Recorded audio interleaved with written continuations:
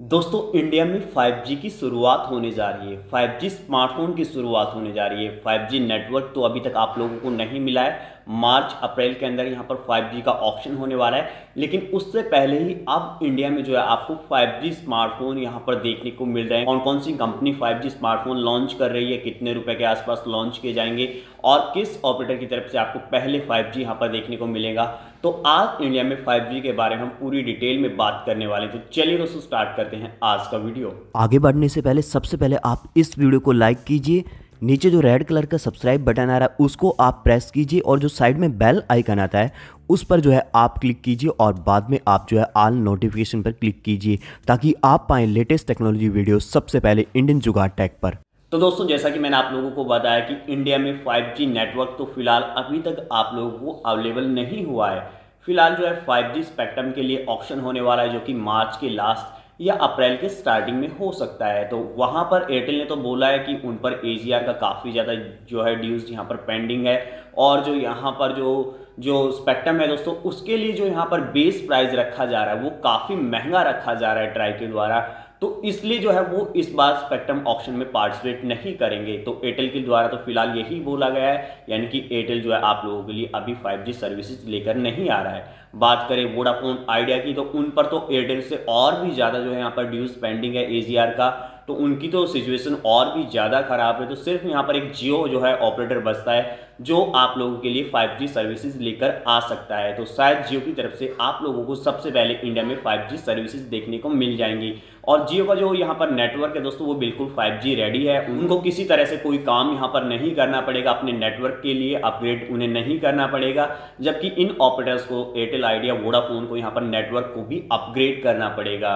तो जियो यहाँ पर आप लोगों के लिए सबसे पहले 5G सर्विसेज़ लेकर आ सकता है। वैसे आप लोग बताना कि आप किस ऑपरेटर की तरफ़ से यहाँ पर 5G सर्विसेज़ के लिए वेट कर रहे हैं। दोस्तों वेट तो आप लोग कर रहे होंगे, लेकिन अभी तक जो है इंडिया में 5G स्मार्टफ़ोन अवेलेबल नहीं था, क्योंकि नेटवर्क भी अवेलेबल नहीं था।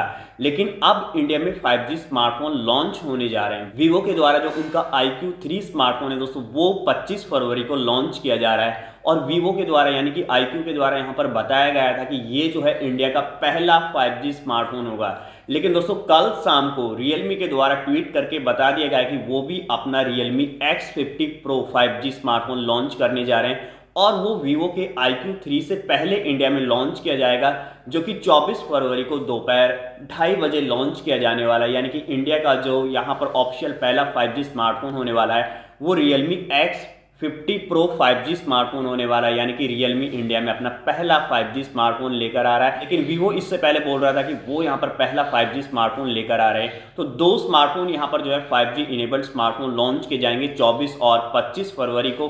पहला यहाँ पर 24 फरवरी को जो लॉन्च किया जाएगा, वो Realme Realme X50 Pro 5G होने वाला है। इसमें आपको Qualcomm Snapdragon 865 वाला प्रोसेसर देखने को मिलेगा। 65 वाट की जो है यहाँ पर आपको सुपर डार्ट फास्ट चार्जिंग का सपोर्ट देखने को मिल जाएगा। 90 हार्ट्स की रिफ्रेश रेट वाली स्क्रीन आपको देखने को मिलेगी। और यहाँ पर जो कैमरा होने वाला है दोस्तों, आपको इस स्मार्टफ़ोन में सिक्स कैमरा देखने को मिलेंगे। दो आपको फ्रंट में देखने को मिलेंगे, जो कि पंचोल के रूप में आपको प्रोवाइड किए जाएँगे, जबकि जो है रियर में आपको जो है क्वाड कैमरा सेटअप देखने को मिलेगा, जो मेन सेंसर होगा दोस्तों, यहाँ पर वो सिक्सटी मेगापिक्सल का होगा। और इस स्मार्टफ़ोन में आपको डुअल मोड फाइव का सपोर्ट देखने को मिलेगा। तो रियलमी की तरफ़ से X50 Pro 5G smartphone India में 24 फरवरी को लॉन्च किया जाएगा। और यहाँ पर जो वीवो का स्मार्टफ़ोन होगा दोस्तों, वो होगा वीवो IQ3 इस स्मार्टफ़ोन में भी आपको सेम वही प्रोसेसर देखने को मिलेगा जो आपको रियलमी X50 Pro 5G में देखने को मिलता था, यानी कि क्वालकॉम स्नैपड्रैगन 865 वाला यहाँ पर आपको प्रोसेसर देखने को मिलेगा। और अभी तक का ये सबसे फास्टेस्ट स्मार्टफ़ोन बताया जा रहा है, क्योंकि एन पर जो इसके बेंचमार्क लिस्ट हुए थे, वो अभी तक के सबसे हाईएस्ट बेंचमार्क थे। और दोस्तों, इस स्मार्टफ़ोन में आपको परफॉर्मेंस भी काफ़ी ज़बरदस्त मिलेगी, क्योंकि इसमें आपको ट्वेल्व जीबी का रैम मिलेगा दो जीबी का स्टोरेज यहाँ पर आपको मिलेगा। तो काफ़ी कमाल का ये स्मार्टफ़ोन होने वाला है, और अब तक का सबसे जो है हाइएस्ट परफॉर्मिंग स्मार्टफ़ोन ये बताया जा रहा है। यानी कि दो स्मार्टफ़ोन और दोनों में ही आपको 5G का यहाँ पर सपोर्ट देखने को मिलेगा। स्मार्टफ़ोन तो दोनों लॉन्च कर दी जाएँगे और दोनों की जो कीमत होगी, मेरे हिसाब से वो करीबन जो है चालीस हज़ार रुपये के आसपास होगी। यानी कि चालीस हज़ार रुपये के आसपास फ़िलहाल इंडिया में आपको 5G स्मार्टफ़ोन देखने को मिलेगा रियलमी और जो है वीवो की तरफ़ से। लेकिन यार, अगर इंडिया में 5G नेटवर्क ही नहीं होगा तो इतने महँगा स्मार्टफ़ोन का अभी आप क्या यूज़ करेंगे? क्योंकि दोनों ही कंपनियाँ जो स्मार्टफ़ोन तो लेकर आ रही नेटवर्क यहाँ पर अवेलेबल नहीं है, कीमत काफ़ी ज़्यादा होगी। आप 5G का भी वहाँ पर यूज़ नहीं कर पाएँगे। वैसे यार, आप लोग बताना कि अगर ये दोनों स्मार्टफ़ोन जो है करीबन जो है तीस और चालीस हज़ार रुपये के आसपास आते हैं तो इनमें से आप कौन सा स्मार्टफ़ोन लेना पसंद करेंगे? नीचे कमेंट सेक्शन में कमेंट करके ज़रूर से बताना।